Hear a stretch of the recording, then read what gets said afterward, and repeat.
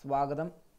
ജവാസ്ക്രിപ്റ്റ് tutorial സീരീസിന്റെ പുതിയൊരു അധ്യായത്തിലേക്ക് നിങ്ങളെ വെൽക്കം ചെയ്യുവാണ്. ഈ അധ്യായത്തിൽ നമ്മൾ ആ പഠിപ്പിക്കുന്ന എന്താണെന്ന് പറഞ്ഞു കഴിഞ്ഞാൽ ജാവാസ്ക്രിപ്റ്റ് വേരിയബിൾസിനെ പറ്റിയാണ് നമ്മൾ പഠിപ്പിക്കുന്നത്. ഓക്കെ ഇതിന്റെ അകത്ത് വേറൊരു കാര്യമുണ്ട്. നിങ്ങൾക്ക് ഇത് പഠിക്കണമെങ്കിൽ ഇതിനു മുമ്പ് നമ്മൾ എച്ച് ടി എം എല്ലിന്റെ ഒരു വീഡിയോ സീരീസ് ചെയ്തിട്ടുണ്ട്. അത് ഇതിന്റെ പ്ലേലിസ്റ്റിലുണ്ട് താഴെ ഡിസ്ക്രിപ്ഷനിൽ പോയി നിങ്ങൾക്ക് കാണാൻ പറ്റും. പിന്നെ സി എസ് എസ് ഉണ്ട്. സ്റ്റൈലിംഗ് അത് നിങ്ങൾക്ക് അറിയില്ലെങ്കിൽ ഡിസ്ക്രിപ്ഷൻ മെനുവിൽ പോയി അത് കാണാൻ സാധിക്കും. പിന്നെ ഇതിനു മുമ്പ് നമ്മൾ ചെയ്തിട്ടുള്ള ജാവാസ്ക്രിപ്റ്റിന്റെ വീഡിയോസ് എല്ലാം ഇതിന്റെ താഴെ അവൈലബിൾ ആണ്. ഒരു പ്ലേലിസ്റ്റ് ക്രിയേറ്റ് ചെയ്തിട്ടുണ്ട്. ജാവാസ്ക്രിപ്റ്റ് ട്യൂട്ടോറിയൽസ് എന്ന് പറഞ്ഞ്. അതിൽ പോയി കഴിഞ്ഞ് കഴിഞ്ഞാൽ നിങ്ങൾക്ക് ആദ്യം തൊട്ടുള്ള വീഡിയോസ് എല്ലാം കാണാൻ സാധിക്കും. അതെല്ലാം കണ്ടിട്ട് ഇത് പഠിക്കുന്നതായിരിക്കും ഉചിതം. കാരണം ഇത് ജാവാസ്ക്രിപ്റ്റിന്റെ കുറച്ച് അഡ്വാൻസ് ട്യൂട്ടോറിയലാണ് വെബ് ഡെവലപ്മെന്റിനെ പറ്റി അറിയില്ലാത്തവർ അതിനെപ്പറ്റിയും പഠിച്ചിട്ട് വരിക. അത് നമ്മുടെ വീഡിയോ നമ്മുടെ വീഡിയോയുടെ താഴെ ഡിസ്ക്രിപ്ഷനിൽ നിങ്ങൾക്ക് പഠിക്കാനുള്ള എല്ലാ കണ്ടന്റും നമ്മൾ എന്റെ എല്ലാ ലിങ്കുകൾ അവൈലബിൾ ആണ്. നിങ്ങൾ പോയത് പഠിച്ചിട്ട് വരിക. ഓക്കെ ഇന്ന് നമ്മളിവിടെ പഠിപ്പിക്കാൻ ഉദ്ദേശിച്ചിരിക്കുന്നത് ജാവാസ്ക്രിപ്റ്റ് വേരിയബിൾസ് എന്നാണ്. ഈ ജാവാസ്ക്രിപ്റ്റ് വേരിയബിൾസ് എന്താണെന്ന് നിങ്ങൾക്ക് അറിയാമോ നമ്മളിപ്പോൾ ഒരു കടയിൽ പോയി ഒരു കുറച്ച് സാധനങ്ങൾ നമ്മൾ വാങ്ങുക. നമ്മുടെ വീട്ടിലേക്ക് ഞാനൊരു ഉദാഹരണം പറയുക കേട്ടോ. നമ്മുടെ വീട്ടിലേക്ക് നമ്മൾ കുറേ സാധനങ്ങൾ വാങ്ങുക. ഉപ്പ് കർപ്പൂരം മഞ്ഞപ്പൊടി മുളക് പൊടി അങ്ങനെ പല പല സാധനങ്ങൾ ഇതെല്ലാം നമ്മൾ വീട്ടിലേക്ക് മേടിച്ചുകൊണ്ട് വന്നിട്ട് നമ്മൾ ഓരോരോ കുപ്പിയിൽ ഇട്ട് വെക്കും. ഉപ്പിന് സെപ്പറേറ്റ് കുപ്പി കാണും മുളക് പൊടിക്ക് സെപ്പറേറ്റ് കുപ്പി കാണും. അങ്ങനെ ഓരോന്നിനും ഓരോന്നിനും ഓരോരോ കുപ്പികൾ കാണും. ഈ കുപ്പികളിൽ നമ്മൾ ഇത് ഇട്ട് വെക്കുമ്പോൾ എന്തോ എങ്ങനെ ഇട്ട് വെക്കുമ്പോൾ നമുക്കത് പിന്നീട് ഉപയോഗിക്കാൻ പറ്റും. നമുക്ക് എന്തെങ്കിലും ആവശ്യം ഉണ്ടെങ്കിൽ നമുക്ക് കുപ്പി നോക്കി നമുക്ക് ഉപ്പിന്റെ കുപ്പിയിൽ നിന്ന് ഉപ്പെടുത്തിടാൻ പറ്റും. അങ്ങനെ നമുക്ക് കറികളിലൊക്കെ ചേർത്ത് ഉപയോഗിക്കാൻ പറ്റും. അതുപോലെ തന്നെ ജവാസ്ക്രിപ്റ്റ് വേരിയബിൾസ് എന്ന് പറഞ്ഞു കഴിഞ്ഞാൽ ഒരു ബോക്സ് പോലെയാണ് ഒരു കണ്ടെയ്നറാണ്. നമുക്ക് വേണ്ട കാര്യങ്ങൾ നമുക്ക് അതിന്റെ അകത്ത് സൂക്ഷിച്ചു വെക്കാം. പിന്നീട് ആവശ്യമുള്ളപ്പോൾ നമുക്കത് ഉപയോഗിക്കാൻ പറ്റും. ജാവാസ്ക്രിപ്റ്റിൽ ഒരു കാര്യം അതായത് ഒരു പ്രോഗ്രാമിംഗ് ലാംഗ്വേജിൽ ഒരു കാര്യം സൂക്ഷിച്ചു വെക്കാനാണ് നമ്മൾ വേരിയബിൾസ് ഉപയോഗിക്കുന്നത്. തുടക്കത്തിൽ വാർ എന്ന് പറഞ്ഞൊരു കീവേഡ് നമ്മൾ വേരിയബിൾ എഴുതുന്ന വാർ എന്ന് പറഞ്ഞൊരു കീവേഡ് വെച്ചാണ്. വാർ മീൻസ് എന്ന് എന്നാണെന്നറിയാം ഇത് ഇംഗ്ലീഷ് ലെറ്ററിൽ വാർ എന്ന് പറഞ്ഞ ഷോർട്ട് ഫോമാണ് വേരിയബിൾ എന്നാണ് ഇതിന്റെ അർത്ഥം.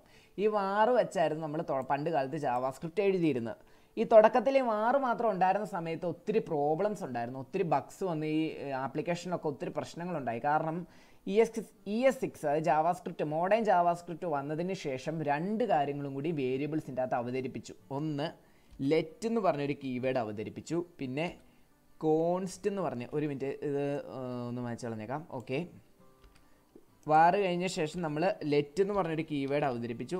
പിന്നെ നമുക്ക് നമ്മൾ കോൺസ്റ്റ് എന്ന് പറഞ്ഞൊരു കീഴ്വേഡ് അവതരിപ്പിച്ചു. ഇങ്ങനെ മൂന്ന് തരത്തിലാണ് വാറ ലെറ്റർ കോൺസ്റ്റ് ഈ മൂന്ന് തരത്തിലാണ് ജാവാസ്ക്രിപ്റ്റിൽ നമ്മൾ വേരിയബിൾ എഴുതുന്നത്.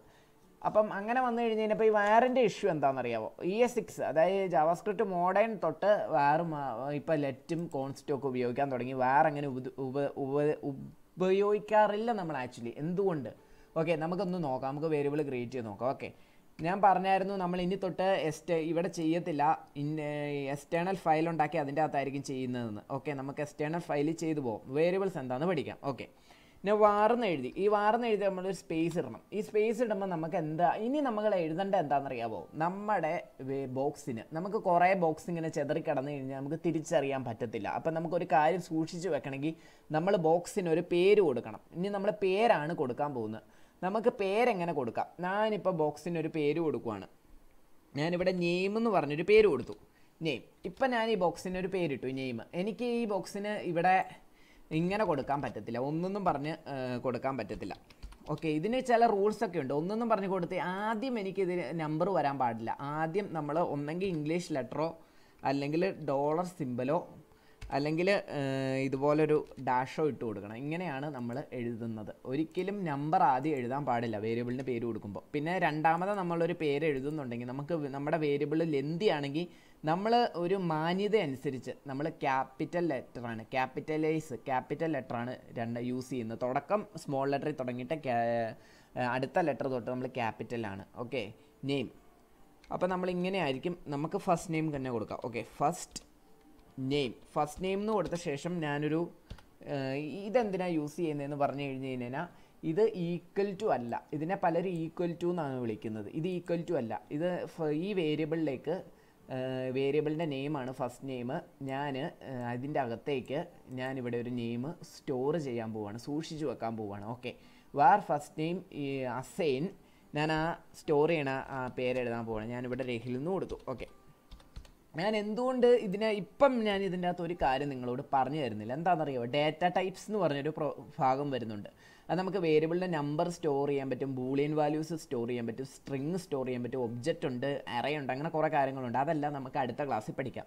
ഡേറ്റ ടൈപ്സ് എന്താണെന്നുള്ള അടുത്ത ക്ലാസ്സിൽ പഠിക്കും. ഇതിന്റെ അകത്ത് പഠിപ്പിക്കില്ല. ഇതിന്റെ അകത്ത് നമ്മൾ വേരിയബിൾ മാത്രമാണ് നോക്കുള്ളൂ. ഓക്കെ രഹിൽ. ഞാനിപ്പോൾ ഈ ഫസ്റ്റ് നെയിമിലേക്ക് രഹിൽ എടുത്ത് വെച്ചിട്ടുണ്ട്. ഓക്കെ രഹിൽ ഒരു സ്ട്രിങ് ആണ്. ഓക്കെ ഞാനിത് എടുത്തു വെച്ചിട്ടുണ്ട്. എനിക്കിനി ഇത് കാണാൻ പറ്റും. ഞാനിത് കൺസോൾ കൺസോൾ ഡോട്ട് ലോഗ് എന്ന് കൊടുത്തിട്ട് ഞാൻ ഫസ്റ്റ് നെയിം അടിച്ച് കാണിച്ചു തരാം നിങ്ങളെ. ഫസ്റ്റ് നെയിം ഞാൻ ഈ ഫസ്റ്റ് നെയിം അടിച്ച് കഴിഞ്ഞ് കഴിഞ്ഞാൽ ഞാനിത് ലൈവ് സെർവറിൽ റൈറ്റ് ക്ലിക്ക് അടിച്ച് ഓപ്പൺ വിത്ത് ലൈവ് സെർവർ നോക്കുവാണ്. ഓക്കെ അതിന്റെ അകത്ത് ഞാനിത് ഞെക്കി ഇൻസ്പെക്ട് എലമെന്റ് എടുത്ത് കാണിച്ചു തരാം നിങ്ങളെ. ഓക്കെ കണ്ടോ രഹിൽ എന്നുള്ളത് എനിക്കിവിടെ കിട്ടിയിട്ടുണ്ട് രഹിൽ. നിങ്ങൾക്കത് കാണാൻ പറ്റുമെന്ന് തോന്നുന്നു. ഓക്കെ രഹിൽ. ഇച്ചിരി കൂടിയും വലുതാക്കാം വലുതാക്കാല്ലേ? ഓ ഇവിടെയല്ല സൂം ആകുന്നത്.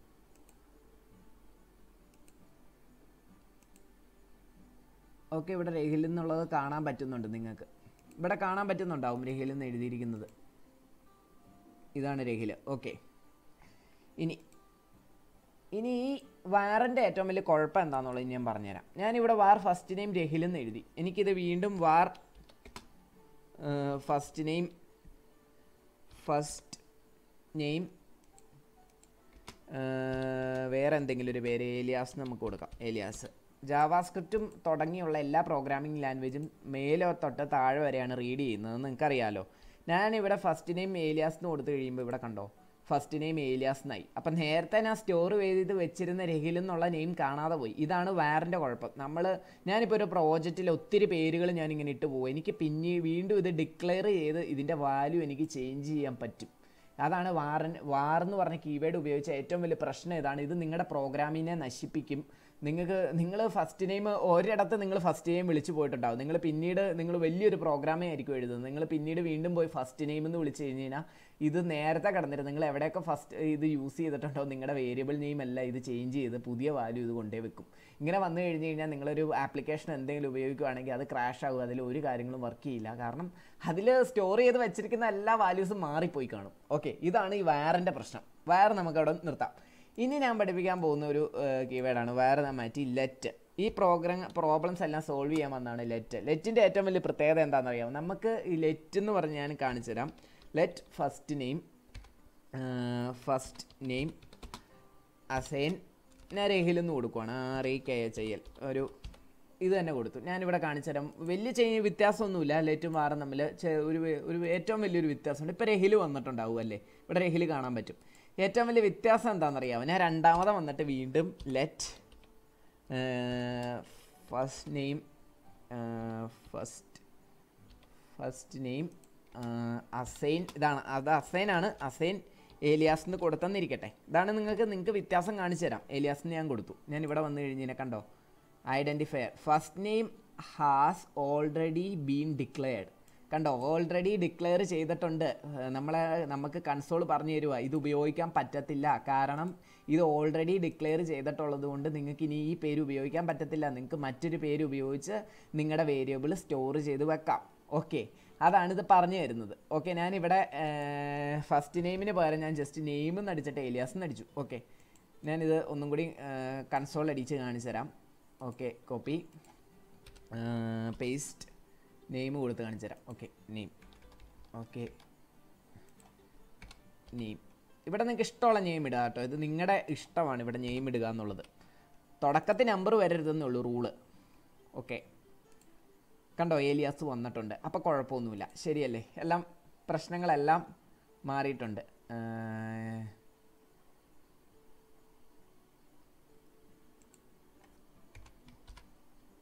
ഓക്കെ. അപ്പോൾ ഏലിയാസ് വന്നിട്ടുണ്ട്. എല്ലാ പ്രശ്നങ്ങളും സോൾവ് ചെയ്തിട്ടുണ്ട്. ഓക്കെ. ഇനി ഇനി ഇതെല്ലാം പോരാ പോയിട്ട് വേറെ സാധനം വന്നിട്ടുണ്ട്. ഞാൻ എനിക്ക് ഇനി ഇവിടെ എന്റെ വാല്യൂ മാറ്റാൻ പറ്റും. ഞാൻ വേണേൽ നിങ്ങളെ കാണിച്ചിട്ട് ഞാൻ നെയിം എന്നിട്ടിട്ട് നെയിം അസൈൻ ഞാൻ ഇതിന്റെ വാല്യൂ വാല്യൂ മാറ്റി ഞാൻ ഇവിടെ ഇപ്പം എന്താ ഇപ്പം കൊടുക്കുക? ലേലിയാസ്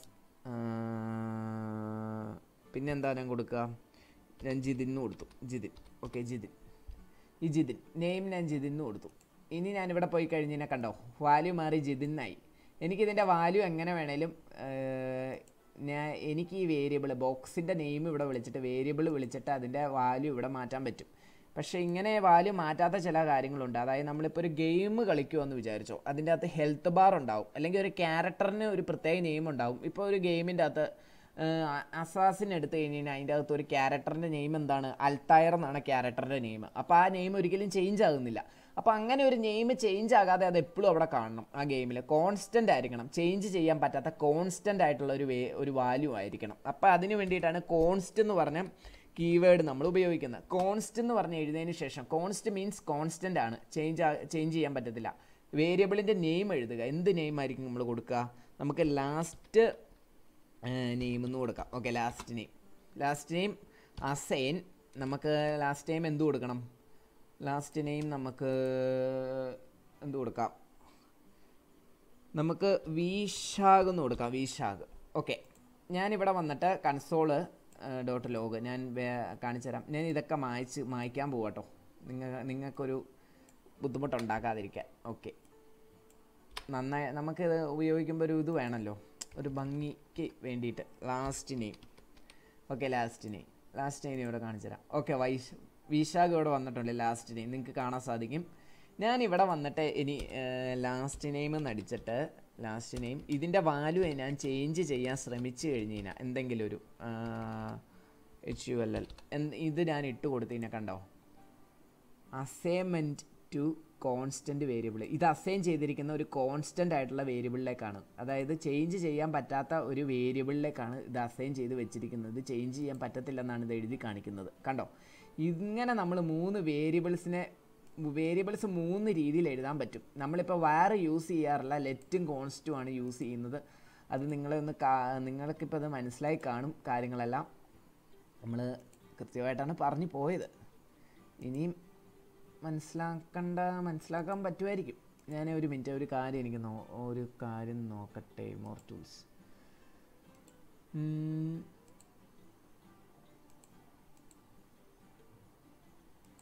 ഓക്കെ.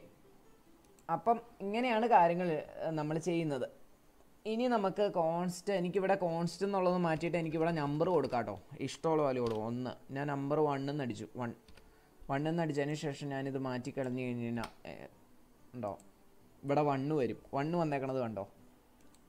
അതായത് വേരിയബിളിലേക്ക് വേരിയബിളിലേക്ക് ഏത് തരത്തിലുള്ള ഡേറ്റ ടൈപ്പുകൾ എന്ത് തരത്തിലുള്ള വിവരങ്ങളും സ്റ്റോർ ചെയ്യാം. അതൊന്നും ഒരു പ്രശ്നമല്ല. പക്ഷെ വേരിയബിളിന്റെ നെയിം എഴുതുമ്പോൾ ഒരിക്കലും ഇങ്ങനെ കൊടുക്കരുത്.